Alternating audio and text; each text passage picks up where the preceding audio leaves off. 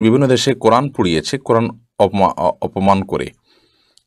অন্য দেশের দায়িত্বশীল কর্তৃপক্ষ সাধারণ মুসলমানরা কীভাবে তার প্রতিবাদ করবে? আমার জামাই বলে, সিগারেট খাওয়া গুরুতর গুনাহ নয়, শুধু মাকরু।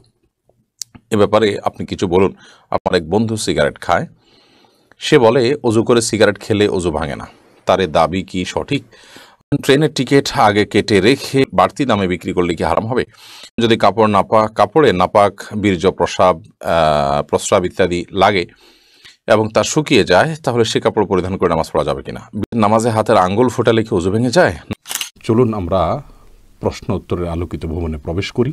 প্যারাডক্সিক্যাল জিনাত ইয়াডি থেকে আপনি লিখেছেন আমার জামাই বলে সিগারেট খাওয়া গুরুতর গুনাহ নয় শুধু মাকরু এ ব্যাপারে আপনি কিছু বলুন।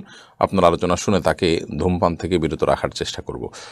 দেখুন, সিগারেট খাওয়া বা ধূমপান করা, এটা এটা নিষিদ্ধ। আমাদের দেশের ওলামা ইকরাম মাকরুহ বলেন, কিন্তু আরব ওলামা ইকরাম এটাকে হারাম বলেন। এরাবেন স্কলাররা তাকে, এটাকে হারাম বলেন। এর অন্যতম কারণ হলো যে এটি মানুষের জন্য ক্ষতিকর। আল্লাহ বলেছেন লাতুল কবি দেখুমিল্লা তাহলুকা তোমরা এদেরকে ধ্বংসের দিকে ঠেলে দিও না।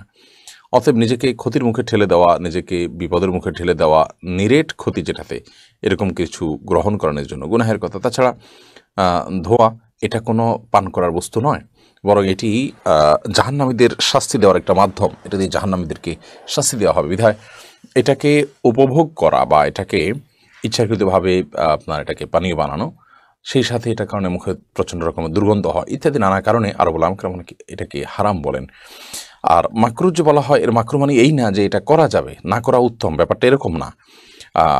এটা করাটা গুণা মাকরু মানেও গুণা হয়তো যারা মাকরু বলেছেন, সে সমস্ত লামাইকরার মধ্যে এটি কাবিরা গুণা নয়, কিন্তু এটাও গুণা এটাও এর কারণে আপনার আমল নামাতে গুণা লেখা হবে। তাছাড়া কিছু কিছু গুণা আছে, কিছু কিছু পাপ আছে, যে পাপের বহুমুখী ক্ষতি আছে।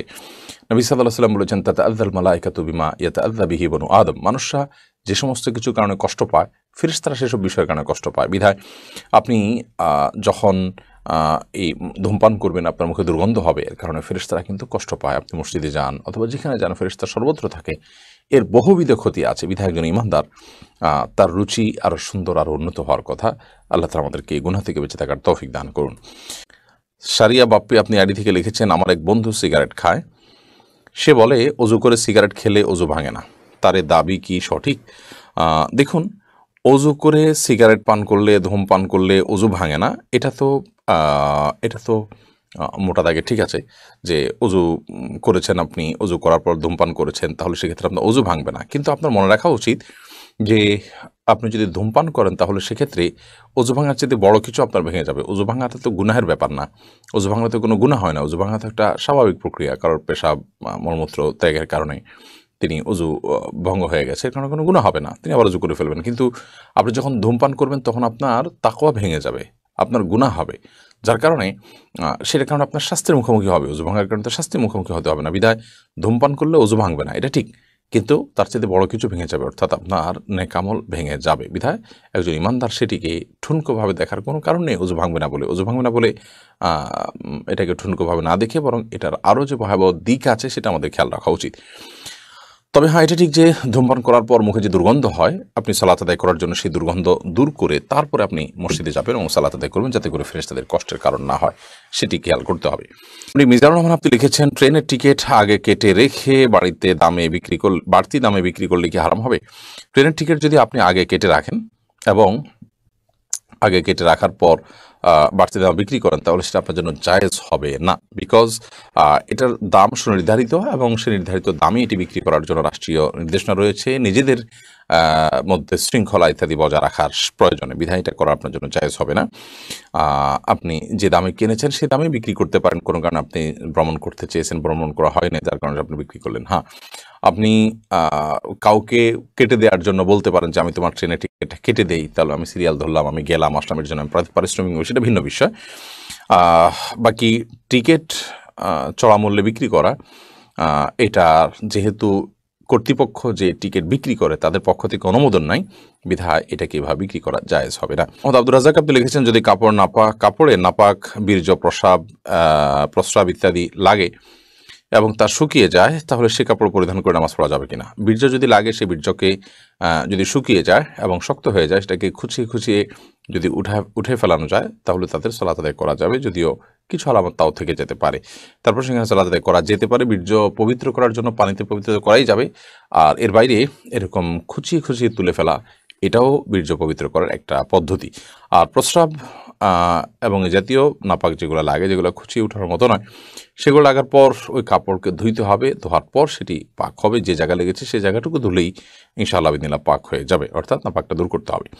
এ মেহরুবা হক, আপনি লিখেছেন, নামাজে হাতের আঙ্গুল ফোটালে কি উজু ভেঙে যায়? নামাজে যদি হাতের আঙ্গুল ফোটানো হয়, তাতে উজু ভাঙবে না, সলাতও ভাঙবে না, কিন্তু এটা মাকরু হবে এবং সালাদকে ত্রুটিযুক্ত করবে, কারণ প্রথমত এমনিতে আঙ্গুল ফোটানো এটা ভালো কোনো বিষয় নয়। দ্বিতীয় সালাতের মধ্যে যেটা করবেন, সেটা আপনার সালাতের যে খুজু আছে, সে খুজুর খেলাফ হবে, যে পরিমাণ নিরবতার সাথে সালাদ করা দরকার, তার পরিপন্থী হবে, তাই সেটি করা উচিত হবে না। ইসলামী জীবন এআডি থেকে আপনি লিখেছেন, বিভিন্ন দেশে কোরআন পুড়িয়েছে, কোরআন অপমা- অপমান করে। অন্য দেশের দায়িত্বশীল কর্তৃপক্ষ সাধারণ মুসলমানরা কীভাবে তার প্রতিবাদ করবে? দেখুন আলহামদুলিল্লাহ আমাদের দেশ সহ পৃথিবীর অনেক মুসলিম দেশ, সুইডেনে নবী করিম সাল্লাহ সাল্লামের প্রতি অমাননা যেমন এর আগে হয়েছে ডেনমার্ক ইত্যাদিতে কোরআন অমাননা হয়েছে। এবং সুইডেনের একজন পলিটিশিয়ান কোরআন পুড়িয়েছে, খুব বাজেভাবে কোরআন নিয়ে সে বিষোদ্গার করেছে এবং পুলিশি প্রহরে সমস্ত কাজ করেছে। ইতিপূর্বেও এর আগেও তিনি একই কাজ করেছেন, গোটা দেশব্যাপী কোরআন পড়ার কর্মসূচি পালন করেছে। মানুষ যখন উগ্র হয়, মানুষ যখন জঙ্গিপনা মানুষের মধ্যে থাকে এবং সন্ত্রাসী হয়, তখন এই ধরনের কাজ করা মানুষের জন্য সহজ হয়। আমরা যাদেরকে অনেক বেশি সভ্য মনে করি, যাদেরকে অনেক বেশি মানবিক মনে করি, অনেক বেশি আমরা তাদেরকে মনে করি যে তারা আমাদেরকে অনেক সবক দেয়া, শেখানোর বা সবক দেওয়ার মতো যোগ্যতা তারা রাখেন সেই মানুষগুলোর ভেতরকার রূপ মাঝে মধ্যে প্রকাশিত হয়ে যায়। মত প্রকাশের স্বাধীনতার নামে তারা মুসলমানদের ইমান নিয়ে চিনিমিনি খেলবে মুসলমানদেরকে অপমান করবে মুসলমানদেরকে আঘাত দিয়ে কথা বলবে। অথচ তারা কখনো বলতে পারবে না যে মুসলমানরা কোথাও কোনোদিন আহ, এই ধরনের জাতীয় পর্যায়ে পুলিশি প্রহরায় রাষ্ট্রীয় পৃষ্ঠপোষকতায় কোনো ধর্মের মানুষের ধর্মগ্রন্থে আগুন লাগিয়েছে বা এ ধরনের এ ধরনের পৈশাচিক কর্মকাণ্ড করেছে। এমনটি কেউ দেখাতে পারে বিচ্ছিন্ন ঘটনা হতে পারে কিন্তু এরকম মোটা দাগে এবং রাষ্ট্রীয় পৃষ্ঠপোষকতা এ ধরনের কর্মকাণ্ড ইতিপূর্বে ফ্রান্সে হয়েছে। আমরা দেখেছি নবী সাল্লাহ সাল্লাম অমারনাথ এটাকে ফ্রান্সের সরকার রীতিমতো প্রোটেস্ট করেছে এবং শেল্টার দিয়েছে। তো এই ধরনের কর্মকাণ্ড মুসলমান দেশে কখনোই হয় না। তারপরেও মুসলমানদেরকে জঙ্গি, এই তকমা শুনতে হয় সন্ত্রাসী তকমা শুনতে হয়। আমরা অনেক মূর্খ মুসলমানরাও সেই সমস্ত কথা শুনে আমরা বিশ্বাস করি এবং মুসলমানদের নিজেদেরকে আমরা নিজেরা ব্লেম করি। এদের যে কপটতা, এদের যে ভণ্ডামি সেদিকটা মাঝে মধ্যে আমাদের সামনে উন্মোচিত হয়ে যায়। এই ঘটনার মাধ্যমে সেটা আবারও উন্মোচিত হলো। যাই হোক, এই বিষয়ে বাংলাদেশ সহ অনেক দেশ প্রতিবাদ জানিয়েছে। আমরা আমাদের যার যার জায়গা থেকে প্রতিবাদ জানাব, ঘৃণা প্রকাশ করব, সেই সাথে কোরআনের প্রতি আমাদের যে দায়িত্ব আছে, আমাদের যে কোরআনের প্রতি করণীয় আছে, সেই করণীয়গুলো আমরা আদায় করব। ইনশাআল্লাহ বিদিনিল্লাহ সেটি হবে এর জন্য সর্বোত্তম প্রতিবাদ আমাদের।